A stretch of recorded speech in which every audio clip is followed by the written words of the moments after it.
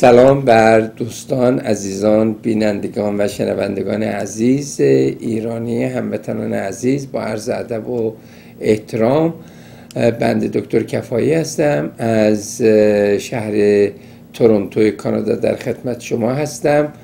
من اینا تکرار می‌کنم چون که هر سری به ما خبر میدن که از جاهای مختلف در دنیا برنامه تلویزیون مشاهده میشه تماشا می‌کنن. و گاهگداری هم شاید ندونن که ما کجا هستیم. در هر صورت انشالله که خوب و خوش و خورم هستین. چاره نیست جز پازیتیو فکر کردن مثبت فکر کردن و امید به خدا داشتن و انشالله که همه چیز بهتر بشه.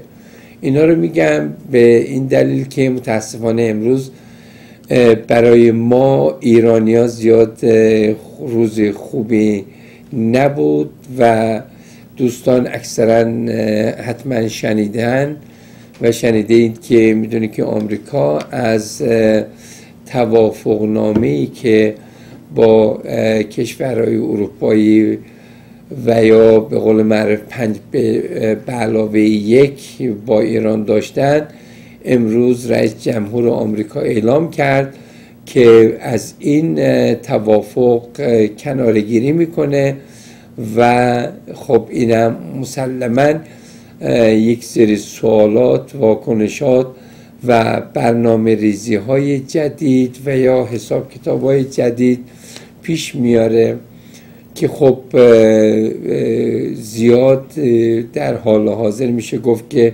خوشایند شاید نباشه و امید به این هست که باز به این به یک نهایت مثبت برسه. متاسفانه در این موارد و یا در این مورد به خصوص در حال حاضر صدمه اصلی و یا بازنده اصلی مردم ایران هستند و متاسفانه باز هم با یک سری از مشکلات مادی و مالی بیشتری برخوردار خواهند شد. چه بسا که در سالهای سال همیشه در نگرانی با گرانی و با قول معروف سفت کردن کمر بند و یا با محدودیت زندگی کردن و متاسفانه این برنامه و یا حادثه و یا خبر امروز باعث شد و خواهد شد که مردم ایران متحمل مشکلات مالی و سیاسی بیشتری بشن. چرا ما هم بنده هم تصمیم گرفتم که این برنامه را به این اختصاص بدم برای اینکه تمام دنیا در مورد این موضوع صحبت می‌کنن همه در مورد ایران و ایرانی ها صحبت می‌کنن و چه خارجی چه ایرانی چه در داخل ایران و چه در داخل, داخل و خارج ایران. یک موضوع اصلی جهانی شده هست و اهمیت ارزش فراوان و بزرگی داره و مهمه که به نظر من همه ما ایرانیان به عنوان یک شهروند ایرانی در مورد این مسئله صحبت کنیم فکر کنیم. الان فکر می‌کنم که وقت این نیست که ما در حالتی و روزی نیستیم که در مورد فوتبال و یا آب و هوا و چیزهای دیگری صحبت کنیم. چون که مشکل سیاسی که امروز برای ایران و در پشت سر آن مشکل مادی مالی که برای ایران به وجود آورد آقای ترامپ رئیس جمهور آمریکا این به این سادگی نیست. فقط با گفتن و یا صحبت در ده دقیقه یک ساعت به پایان نمی‌رسه و یا با فکر کردن در مورد اون به پایان و یا به نتیجه نمی‌رسه این مشکلاتی ایجاد خواهد کرد. که یکا یک و یا تک تک ما ایرانیا متاسفانه این را حس خواهیم کرد. همش آرزو داشتیم که این توافق نامه حالا با خوبیاش بدیاش هرچی بود تا اندازه بمونه که در آینده بهتر بشه. البته نظر من از بهتر بودن به نفع ایران و مردم ایران و یا مردم ایران بشه. خب ما که سیاست مدار نیستیم و یا ما که در از جزئیات این گونه قرارداد قراردادها و یا پشت برده های اینا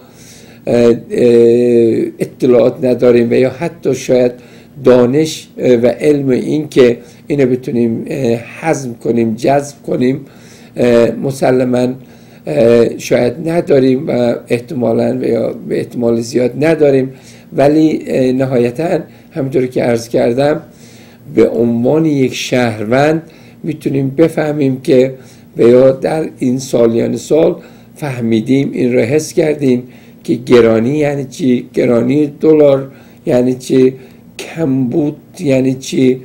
و تمام این محدودیت هایی که برای اکثر مردم ایران غیر از یه مشخص برای اکثریت مردم ایران چه در مسافرت چه در مهاجرت و چه در کاریابی چه در سرمایه گذاری چه در داخل ایران و خارج ایران. من فکر می‌کنم که کمتر شخص و یا خانواده ای هست که از این مشکلات برخوردار نبوده و یا ضربه و ضرر ندیده و از این مسئله رنج نبرده. بنابراین ما ایرانیا دیگه آشنایی کامل با سختی ها داریم و فکر نمی کردیم که دوباره چه هیچ حکومتی بیاد ما ایرانی ها را بار دیگر با سختی ها مجازات کنه و یا امتحان کنه.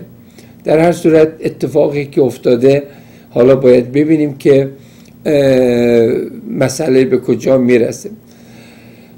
چرا این اتفاق در این لحظه افتاد و یک چیزی که خیلی به عنوان همطور که عرض کردم شهروند ایرانی و وطن پرست صحبت می‌کنم این هست که خب مسلما کماکان می‌دانیم که دلیلی که این آقای ترامپ به این نتیجه رسید در واقع مشکلات شخصی و مشکلات سیاسی و مشکلات سیاسی داخلی کشور خودش هست که ایشون را مجبور به یه سری تاکتیکای استفاده از تاکتیکای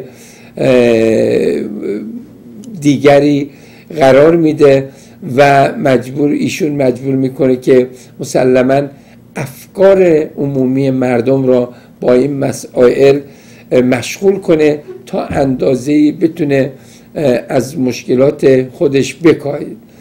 اگر اونایی که دوستان البته هموطنانه فکر می‌کنم اکثر هموطنانه که تا اندازه خب اخبار اینا رو تعقیب می‌کنن چه بسا که امروز بیشتر از طریق سوشیال مدیا فیسبوک تلگرام و غیره می‌بینین که درک می‌کنیم و می‌بینین که چقدر آقای ترامپ رئیس, رئیس جمهور آمریکا در مشکلات سیاسی داخلی قرار گرفته و این دیگه اینجا جای این که اینا رو بازگو کنیم اینا نیست و نتیجتا حتی به بازجویی و ایمپیچمنت آقای ترامپ هم این مسئله کشیده شده و احتمالا پیشتر و فراتر از اونم خواهد رفت. بنابراین خب آقای ترامپ هم هر کاری که از دستش بیاد خواهد کرد تا اینکه بتونه از مشکلات خودش خودش رو حفظ کنه. ترامپ یک خصوصیات یکی از خصوصیات اصلی که همه در مورد آقای ترامپ میگن اینی که میگن fighter است یا جنگجو هست و بارها این دیده شده ثبت شده در طول تاریخ business ی و یا سیاسی آقای ترامپ که هر موقع ترامپ مشکلی داشته عوض اینکه به اون فکر کنه و تجزیه تحلیل کنه مشکلش حل کنه چه حق و چه ناحق به طرف مقابلش حمله کرده و حتی اگر قانونا هم محکوم شده و قرار دادگاه هم که بهش اعلام شده که ایشون محکوم شده ایشون هنوزم نه تنها این محکومیت را قبول نکردن و محکومیت نامیده نشده این بلکه اینا برای خودش یک پیروزی تلقی کرده و این را به عنوان و به اسم پیروزی به بقیه فروخته. یعنی منتالیتی و یا شخصیت کاری و سیاسی این شخص این هست که ما وقتی که یه همچین اتفاقاتی که مثل امروز میفته باید ببینیم که دلیل اصلی این مسئله و اتفاق چی هست و چه کسی این تصمیمی رو می‌گیره و, و این شخص که در این حال آقای ترامپ هست از چه حالت روحی و روانی و سیاسی قدرت تصمیم گیری و جهانداری مملکت داری چه اندازه برخوردار هست؟ چه بسا که اکثریت سیاستمدارای بیان میشه گفت که خیلی از سیاستمدارای اصلی و قدیمی به قول اینجا یا پایونر آمریکا میگن که این شخص از نظر فکری عقلی و سیاسی سویتبل و یا مناسب نیست برای رئیس جمهور بودن آمریکا. ولی خب سیاست همینه فعلا که هست و میگن که تا آخر ترمش هم حتما خواهد بود و با این تاکتیکایی هم که بازی می‌کنه استفاده می‌کنه و مشکلاتی که در کل جهان هست و مشکلاتی که مردم آمریکا هم داره بعید نیست که همچین کسی دوباره هم حتی انتخاب بشه. چه بسا که در مورد آقای جورج بوش هم گفتن که از عقل سالمی برخوردار نیست و انتخاب اول ایشان یک اشتباه بود ولی متاسفانه دیدیم که برای بار دوم هم انتخاب شد و حتی در روزنامه های و یا مدیای بزرگ اروپا تیترای روزنامه های اصلیشون اینطوری نوشتن که ما فکر نمی کردیم که بالای 50 درصد آمریکا دوباره اشتباه بکنه. ولی چه بسا که این اتفاق افتاد و ایشون هشت سال ریاست جمهوری در آمریکا کردن و انجام دادن. در هر صورت اینو می‌خوایم به صورت نتیجه گیری اینو بگیم که دلیل اصلی این تصمیم گیری آقای ترامپ مشکل اصلی اخلاقی شخصی سیاسی کمبود در واقع میشه گفت که اخلاق و شخصیت اخلاقی و دانش و علم سیاسی دولت مردی ایشون هست. این از یک طرف خب مسلما یکی از خصوصیات دیگر آقای ترامپ در مورد ما ایرانی ها و ایران دشمنی بدون دلیل و یا اینکه دیگه بدون اینکه هیچ دلیلی داشته باشه یک دشمنی خاصی با ایران و ایرانی ها داره. چه بسا که راست و دروغ میگه که ما نه با مردم ایران هستیم بنده به نوبه خودم به عنوان یک شهروند یک انسان به شهروند ایرانی به این مسئله هیچ موقع باور نمی‌تونم بکنم که آقای ترامپ نه تنها طرفدار ایرانی بلکه آقای ترامپ طرفدار هیچ انسانی نیست. یعنی اینکه آقای ترامپ در درجه اول مادیات حکومت بولینگ و این مسائلی که در واقع به شخصیت یک رئیس جمهور نمی‌خوره دارا هست پیگیر هست. این دیگه فکر نمی کنم بعد از اینم درست بشه و سالیان سال این اینطور اومده. بنابراین در کنار دلیل اصلی این تصمیم گیری خب مسلما ایران یک کشوری هست که از نظر موقعیت جغرافیایی و سیاسی واقعا میشه گفت که یه حالت استثنایی داره و پیدا کرده. و متاسفانه به هر دلیلی که حالا می‌خوایم بگیم نتونسته که کار را و یا پیشرفت سیاسی و روابط بین را به نفع خودش بگیره به طرف خودش به دست بیاره و اگرم هر موقع که گرفته به صورت خیلی کوتاه مدت بوده با شرط شروط بوده و همیشه زیر فشار اینکه موقتا این اجازه را این فرصت را به ایران دادن بوده و خیلی وقتا هم اتفاق افتاده که در چند سال اخیر دیدیم که اینا هر موقع روابطی که مصالحه آمیز بوده و یا مثبت بوده با یک کشور اروپایی و یا غیره این در طول سالهای سال بارها قطع شده و مجددا به عناوین دیگری و به شکلهای دیگری کوتاه مدت دراز مدت ارتباطات برقرار شده. یعنی نتیجه گیری این که کشورهایی که غیر از آمریکا با ایران ادعای دوستی کردن و ادعای همکاری کردن همش با شرط شروط بوده و هیچ کدوم اونها به صورت متوالی مستقر نبوده و من فکر می‌کنم که هیچ موقع هم نخواهد داشت. می‌دونیم که این چرا به صورت کلی اصلا به این شکل در اومده اینکه خب در طول تاریخ پدید آمدن اتفاق افتادن جنگ های بزرگ مثل جنگ جهانی اول و دوم یک در دنیا یک حیولایی ساخته شده به اسم آمریکا و در اون زمان خودش آمریکا میشه گفت که تقریبا ناجی و یا نجات دهنده زمانهای خودش بوده. یعنی اینکه با قلم رو با زور با بلوینگ با اسلحه با کشت کشتار هم که شده نهایتا باعث شده و یکی از عنصرهای اصلی بوده که جنگ در هر نقطه جهان که و جنگ جهانی اول و یا دوم تموم شده. و برای اینکه مردم دنیا نه اینکه ایران و جای دیگر هیچ کس هیچ شخص شهروند معمولی هیچ موقع هیچ جای دنیا جنگ نمی‌خواد و مجبور شدن نبودن جنگ یا اتفاق افتادن نیافتادن جنگ را یک شانس و یک نتیجه مثبت بدونن و به کسی که باعث قطع و اتمام جنگ شده که اون موقع ها اکثرا آمریکا نقش بزرگی داشته به عنوان یک مدال یک جایزه اسم ابرقدرتی داده شده که این آمریکا هم به موقع خودش به زمان خودش از این امکان بیشترین استفاده را کرده. چه بسا که می‌دونیم و می‌بینیم که در بالای صد کشور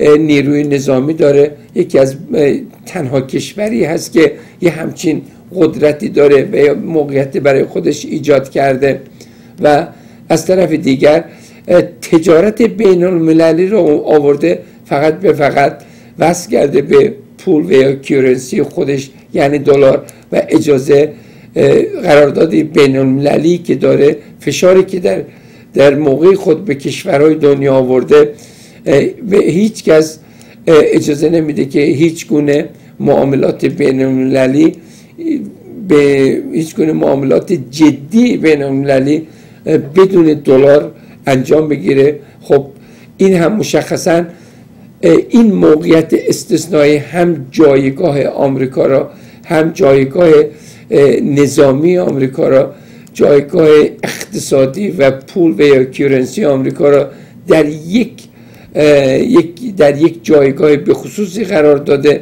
و این تونسته از این قدرت برای سالهای سال استفاده کنه و استمرار خودش را و یا بولینگ خودش را بر کشورهای دنیا استفاده کنه و قدرتمندی بکنه و در گاهگداری در موزه های متفاوت و یا جاهای متفاوت کماکان شاید دیدیم که به دلایل متفاوتی رنگ زورگویی آمریکا اگر در مدتی در جای کم بوده به دلایل متفاوتی بوده ولی نهایتا آمریکا یک ابرقدرت دنیاست که در واقع به دنیا حکومت می‌کنه و استقرار میشه گفت که حتی میشه گفت در حال حاضر استقرار پیس و یا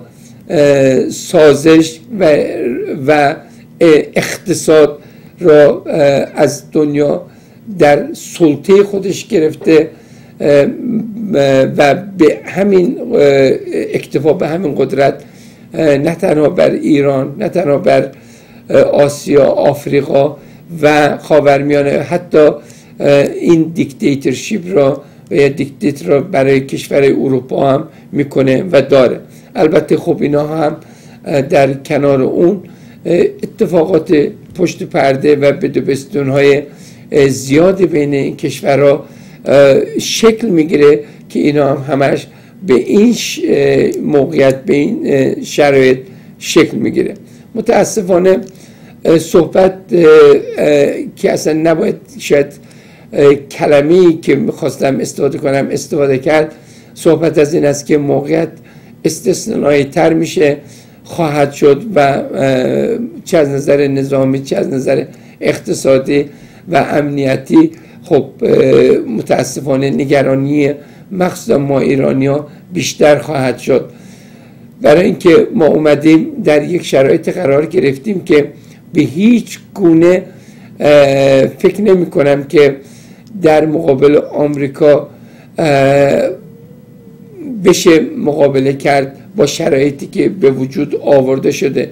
دیگه من فکر نمی کنم که ایران هم دیگه چیزی داشته باشه که ادوانتیجی به اینا بده. دیگه در واقع چیزی نمونده که بگیم که خب ما این امتیازات را هم به شما میدیم. بیا از این دست از این شیطنت و از این دیوانه بازگی و فکرهای بد در مورد ایران برداریم در هر صورت متاسفانه الان امروز اگر بازار دلار و مارک و یورو اینا رو نگاه کنین یا اصلا قیمت یا اصلا دلار مارک یورو نیست و یا اینکه با نوسان های خیلی متفاوت و زیاد کم و زیاد شاید ترانزکشن ها انجام می‌گیره که شما فکر کنید که از دیروز به امروز شاید 20 درصد ارزش پول ایران فقط در یک روز پایین اومده. خب این برای شاید شهروندهای معمولی مثل بنده شاید مفهوم آنچنانی نداشته باشه برای اینکه درکش و یا حساب کتابش به آن سادگی برای ما نباشه. ولی در حساب کتاب اقتصادی و یا سیاسی در واقع یک این یک خودکشی یک شکست کامل و یا یک نابودی کامل هست که کیورنسی و یا پول قیمت و یا ارزش پول یک کشور. حالا هر کشوری می‌خواد بشه 20 درصد 15 درصد 30 درصد در یک روز و در هفته یک ماه نزدیک به شاید بشه گفت 40 50 درصد ارزش پول بیفته پایین. امیدواریم که همش میگیم امیدواریم همش دعا می‌کنیم ولی انگار که این دعاهای ما هم به جایی نمی‌رسه و دیگه از امیدواری هم زیاد مثل که امیدوار به امیدواری شاید نباشیم چون که همونطور که عرض کردم شاید کاری نمی‌کنه. فقط مهم این است که به نظر من ما شهروندان باید بفهمیم که جریان از چه قراره و ما در چه موقعیتی هستیم و کماکان باید پیش بینی کنیم که در روزهای آینده و یا ماهای آینده وضعیت ایران وضعیت اقتصادی سیاسی و نظامی ایران چه خواهد بود. و متاسفانه اینا همیشه می‌دونیم که یک سری از دولت های بزرگ همیشه در پی نقش کشی و در پی سوء استفاده های سنگین از مردم کشورهای کوچک همیشه بودن. و فکر نمی کنم که این عوضم بشه. من فکر می‌کنم که مردم ایران برای چهل سال گذشته نهایت استقامت خودشون را نشان دادن گردن به هر چیزی خم کردن که از امکانات اولیه و دارو از امکانات اولیه بهداشت تحصیل و ارتباطات خارجی غیره از همه چیز گذشتن. و خودشون رو اکتفا کردن به امید اینکه کشورهای بزرگ مثل آمریکا، انگلیس، شوروی و غیره تا اندازه دست از سر مردم ایران و ایران بردارن نه تنها متاسفانه به نتیجه نرسیدیم بلکه هم بدتر شد.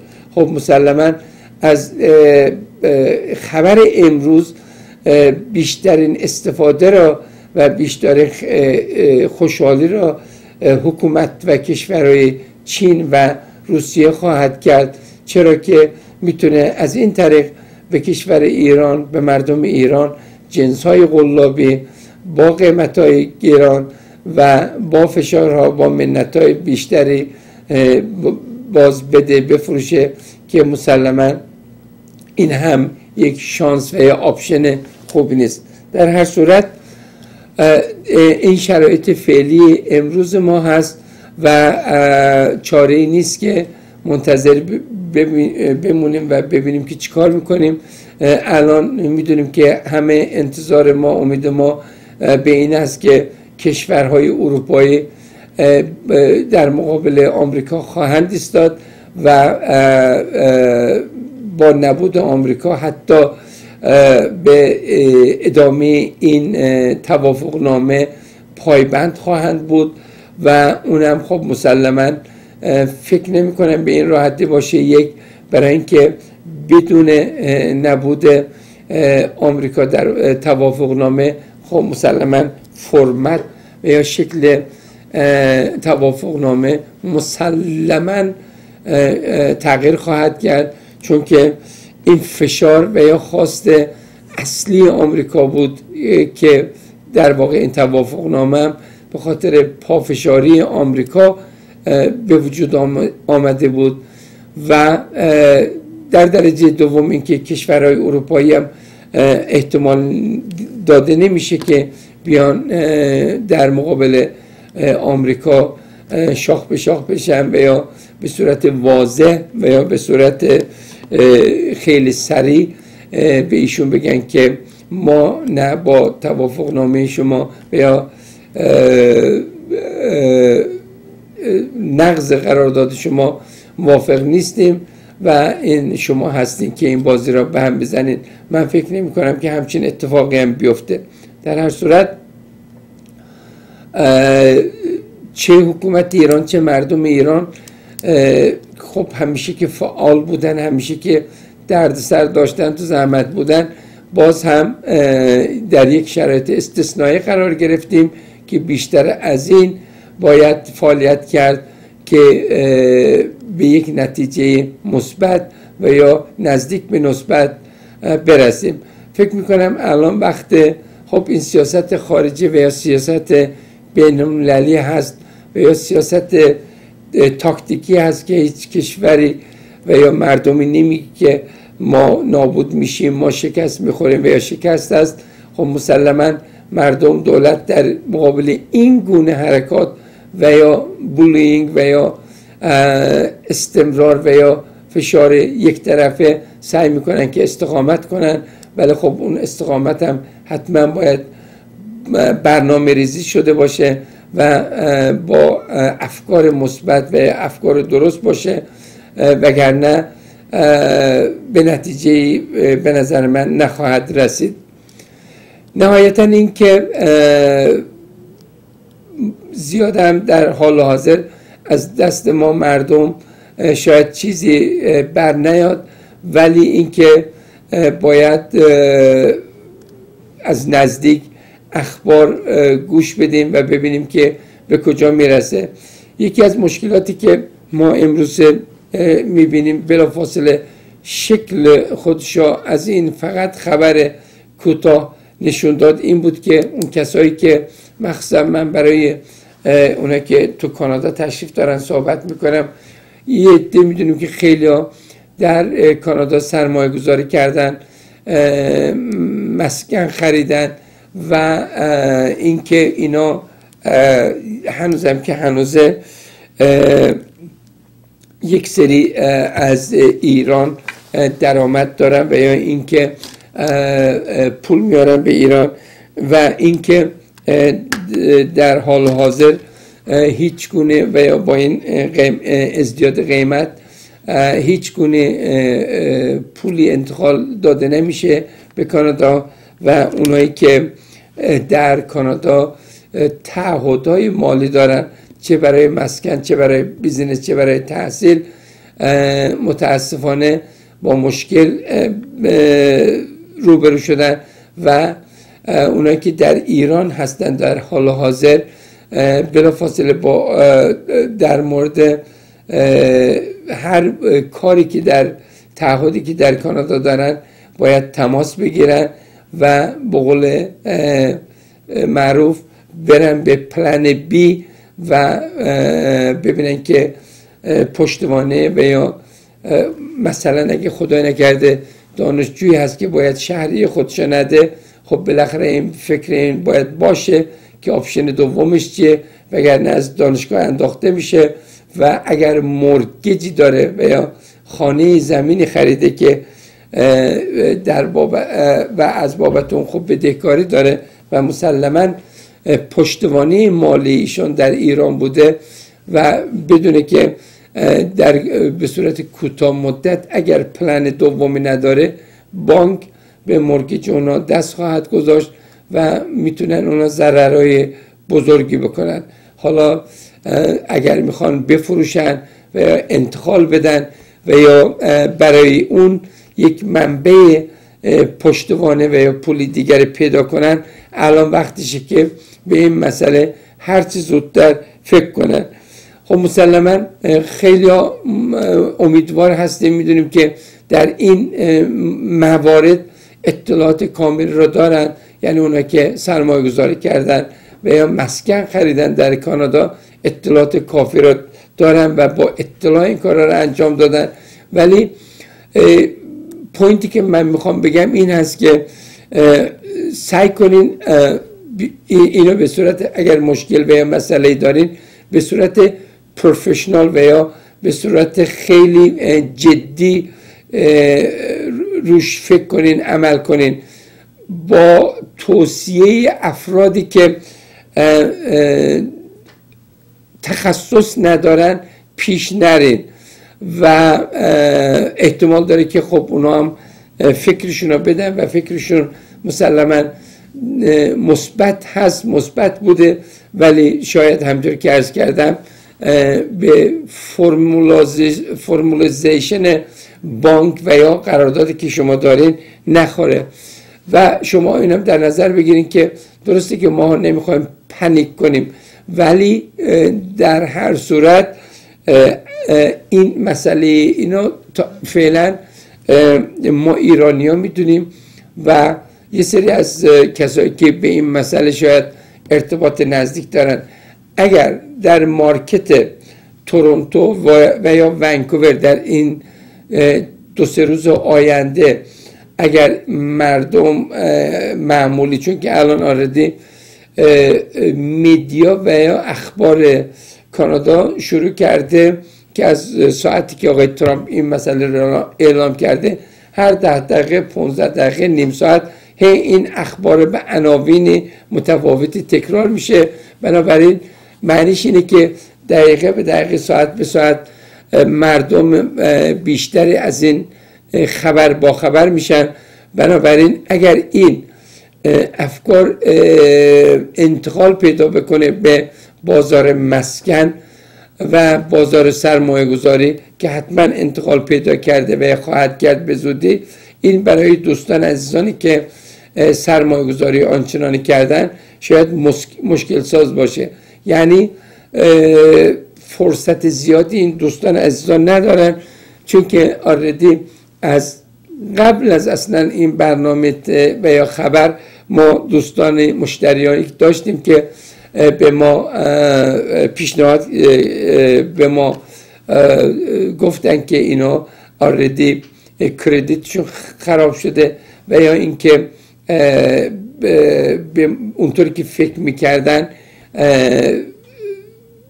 ادامه پیدا نکرده. چون که ما می‌دونیم که در ده 20 سال اخیر و یا گذشته real estate و یا مسکن کانادا و به خصوص تورنتو و ونکوور همیشه در حال پیشرفت بوده و خوشبختانه خیلی از دوستان و هموطنان عزیزم از این برنامه سود بردن استفاده کردن و و امید بود که همینطوری بره.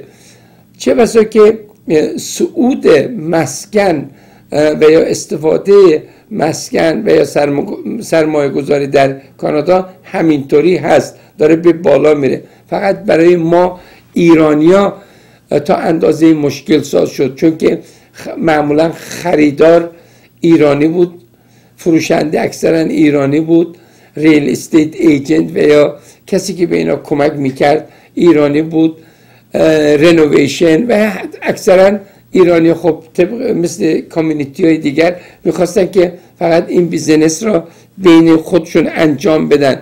با این وضع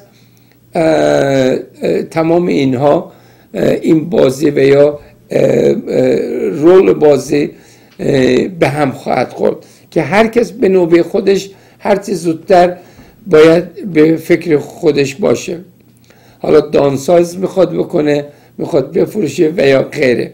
یعنی این پیغامی از مسیجی است که بنده از کانادا و تورنتو به دوستا از عزیزانی که در ایران هستن و یا و در کانادا سرمایه گذاری کردن اینا خدمتشون ارائه میدم. چون که اینا بارها اتفاق افتاده دیده شده و ما در 2000 سال 2008 شکست اقتصادی داخلی آمریکا رو دیدیم که میلیون ها نفر خونهشون از دست دادن.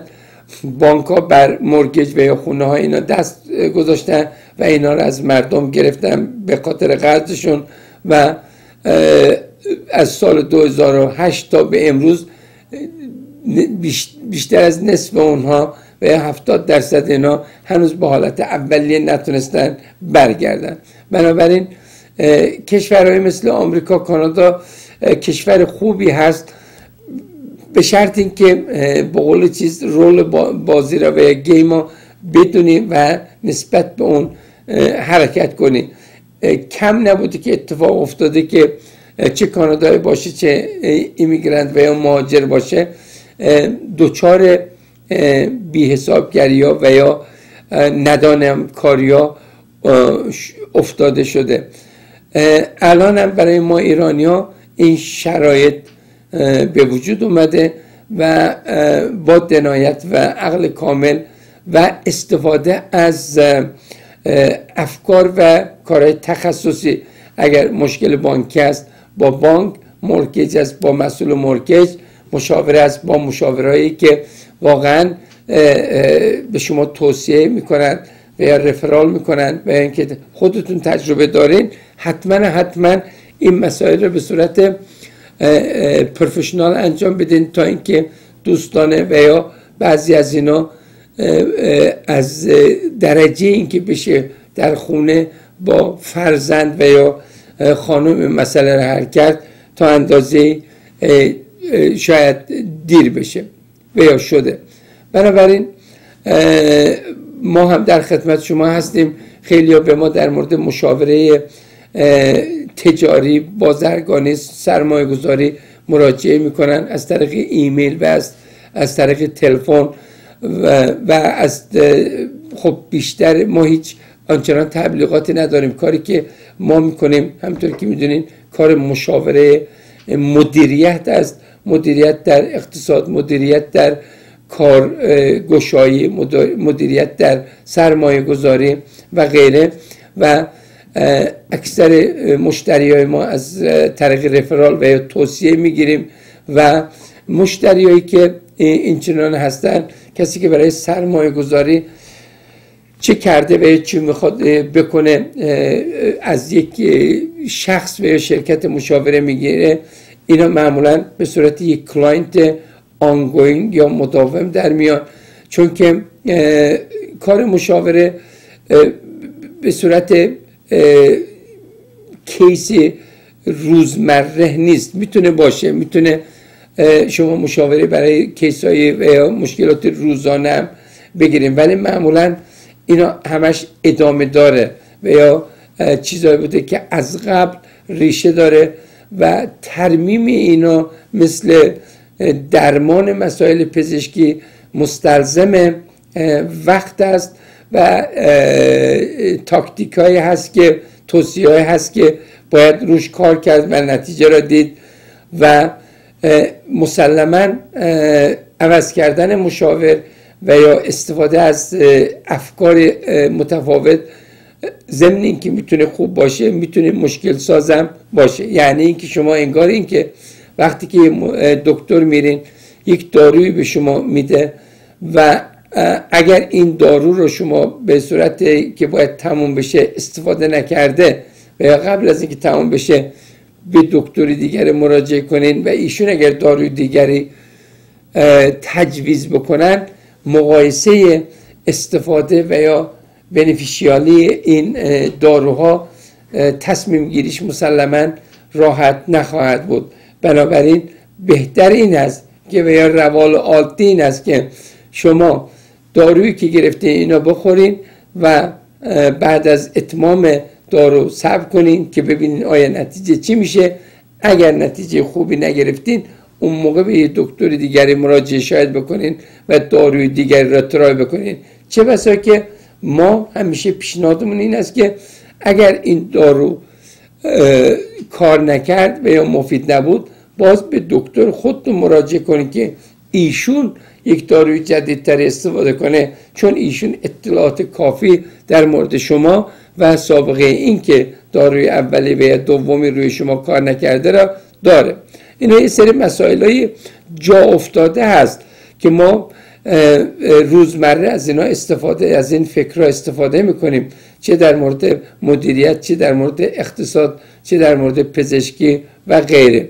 بنابراین نوسان های خیلی خیلی کوتاه مدت شاید همیشه به سود شخص نباشه. چه بسا که هیچ کدوم از اینا گارانتی نداره. ما بارها دیدیم که شما اگر یک کیس شکایتی دارین که وقتی به البته من در مورد قانون کانادا صحبت می‌کنم شما فکر می‌کنید که حتما حتما شما برنده هستین چون که حق با شما هست و شما هیچ کار خلافی نکرده این اتفاقی است که برای شما افتاده و شما فقط از خودتون دفاع کردین چه حالا شخصی مادی مالی و غیره. وقتی که شما وکیل می‌گیرین یکی از حرفای اولیه وکیل شما این هست که من هیچ گارانتی به شما نمیدم. من نهایت سعی خودم را خواهم کرد که شما را به نحو احسن رپرزنت کنم. تو دادگاه در کرد ولی این به این معنی نیست که حتما ما می‌بریم. می‌دونیم که شاید قبلا هم تو برنامه گفتیم و یا اینجا یک فریزی و یا یک منتالیتی و یا یک مفهوم و یا تفهیمی هست که میگن که در واقع وقتی که شما کرد میرین مهم نیست که شما کاری کردین و یا نکردین. مهم این است که چجور از خودتون دفاع می‌کنین چجور خودتون رو رپرزنت می‌کنین. حالا از نظر قانونی. در واقع اونجا وقتی که دادگاه دو تا وکیل در کرد با همدیگه مناقشه و یا مناظره و یا مبارزه می‌کنن در واقع مبارزه قوانین و یا اون point های کوچک هست که می‌کنن.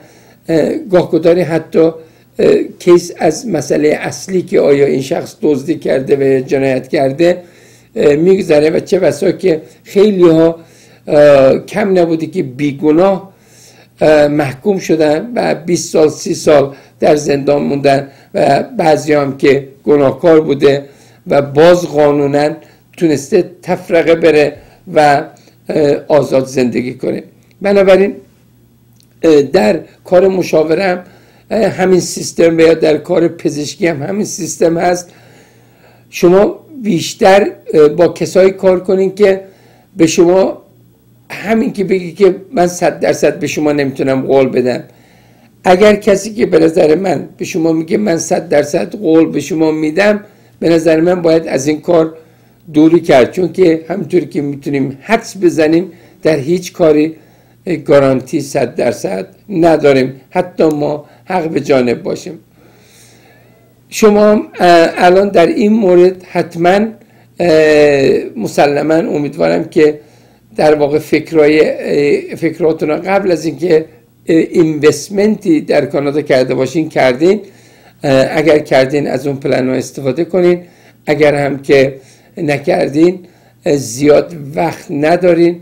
احتمال داره که اینجا یک سری همین به خاطر نگرانی شاید یه چیز اتفاقی هم نیفته و انشالله هم که هیچ اتفاقی نمیفته و یا خب آمریکا اگر هم و یا آقای ترامپ خودش را برکنار کرده من فکر می‌کنم تنها چیزی مثبتی که من می‌تونم روش حساب کنم باز فشار مردم و سیاستمدارهای اصلی و قدیمی و پای و اساسدار آمریکا هستند که دوباره این مسئله را به یه جوری حل کنن یعنی غیر از مردم و یا سیاستمدارهای قوی آمریکا سیاست های خارجی و هیچ چیزی فکر نمی کنم به آمریکا و به ترامپ اثر بگذاره.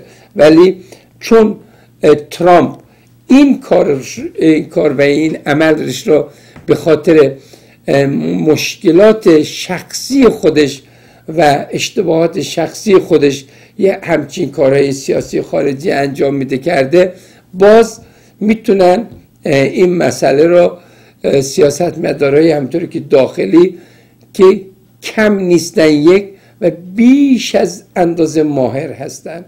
شما باور نمی‌کنید که اصلا وقتی که ما و یا بنده شنیدم و یا می‌بینم که رئیس جمهور آمریکای شخص هست به اسم ترامپ یا به شخصیت ترامپ اصلا باور کردنی نیست. هنوزم که سالا میگذره یک سال یک سال نیم دو سال میگذره هنوزم آدم باور نمی‌کنه. برای اینکه ریاست جمهوری یک سیاست مدار پخته یک سیاست مدار واقعا ریشه دار یک سیاست مدار که از هم از نظر روحی روانی انسانی یه آدم تکمیلی می‌خواد چه بسا که متاسفانه این شخصیت بری از همه این شخصیت های اصلی هست و به دور هست. ولی این را هم نباید بی توجه گرفت که درسته که آقای ترامپ یه همچین تصمیم جاهلانه و بی عقلانه گرفت. ولی چه بسا که خوشبختانه سیاست آمریکا طوری هست که در هر لحظه می‌تونه خیلی چیزا رو عوض کنه و من فکر می‌کنم که سیاست داخلی آمریکا و سیاست مدارای بزرگ آمریکا همطور که ارز کردم نقش بزرگی برای حل مشکل امروز ما خواهند داشت. تا خب فرمت ما این همین در واقع تقریبا شبیه این چیز. حالا مال ارتباط ایران و آمریکا به این مسئله نظامی و یا غیر کشیده شده ما این همین مسئله رو در رابطه با نفتا و یا قراردادی که بین کشور مکزیک و آمریکا و کانادا هست داریم و اینها ماها هستن که در در تلاطم هستن و احتمال هنوزم که هنوز به هم خوردن این قرارداد که بیش از 20 سال هست با موفقیت کار کرده و اکثریت فکر می‌کنن که هر سه کشور مردم چه مردم و چه دولتش از اون سود برده در حال شکسته شدن هست.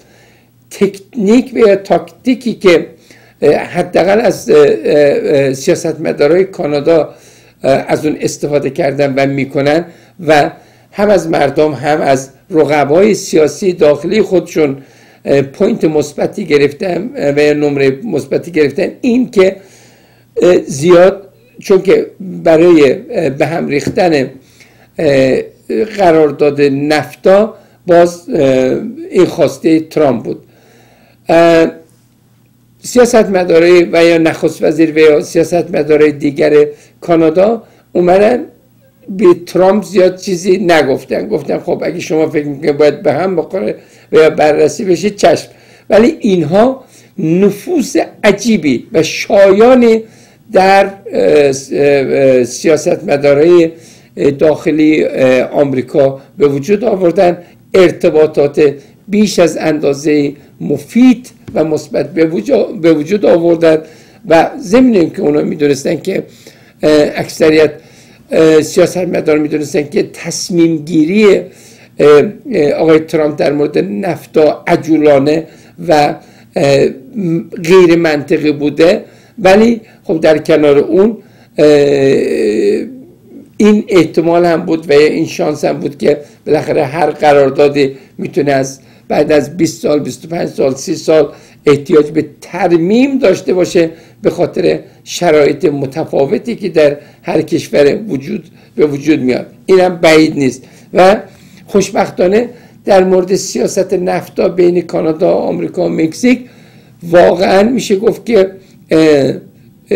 دیپلمات های و سیاست مدارای کانادایی به نحو اصلا کار کردن و به قول اینجا یه ترامپ رو بایپس کردن و بدونی که به ترامپ کار داشته باشن به تمام گاورنرها و سناتورها و بیزینسمن های آمریکا دسترسی پیدا کردن و اونها رو قانع کردن و میشه گفت که من برداشتی که من از این مناظره مذاکره دارم این که هفتاد درصد هشتاد درصد مسئله را اینا پشت برده حل کردن و نهایتا در واقع این وظیفه را این مسئولیت را واگذار کردن به سیاستمدارای داخلی آمریکا که اینا روی ترامپ کار کنن و از ترامپ رد کنن و یا حل کنن.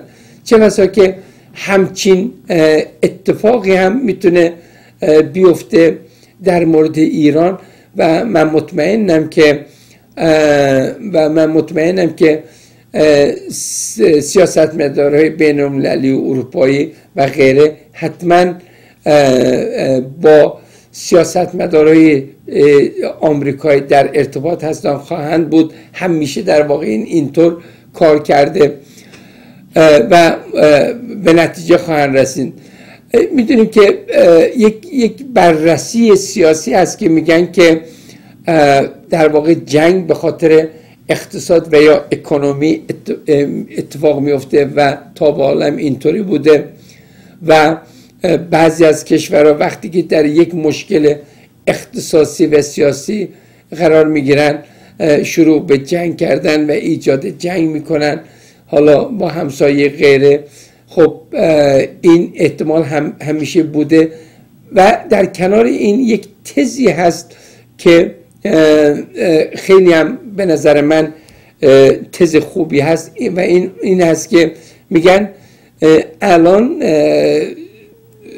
دلیل جلوگیری از جنگ اقتصاد بین المللی است. یعنی بیزینسمن ها تاجرها و تولید کننده ها مصرف کننده ها نمی‌خوان جنگ بشه. برای اینکه می‌خوان بیزینس کنن می‌خوان تجارت کنن می‌خوان زندگی کنن.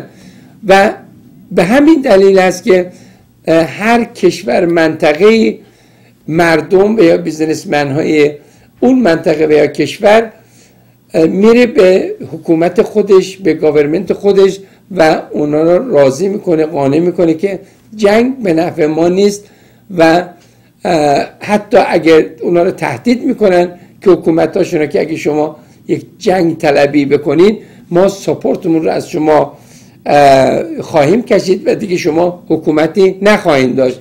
یعنی در واقع یک تز پرادکس اینجا به وجود آمده که جنگ به خاطر اقتصاد است و اقتصاد هم می‌تونه جلوی جنگ را بگیره.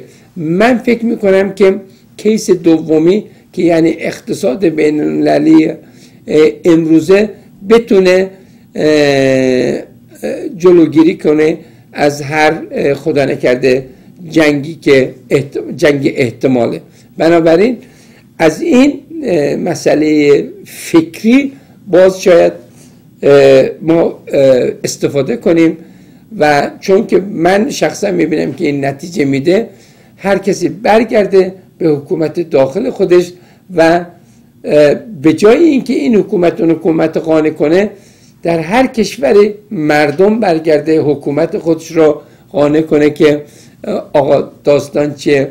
و فشارهایی که به این به همین دلیل به همین نتیجه به جای اینکه فشارها رو از کشورهای غریبه و بیگانه ببینیم بهتره که هر کشوری هر حکومت فشار را از مردم خودش ببینه.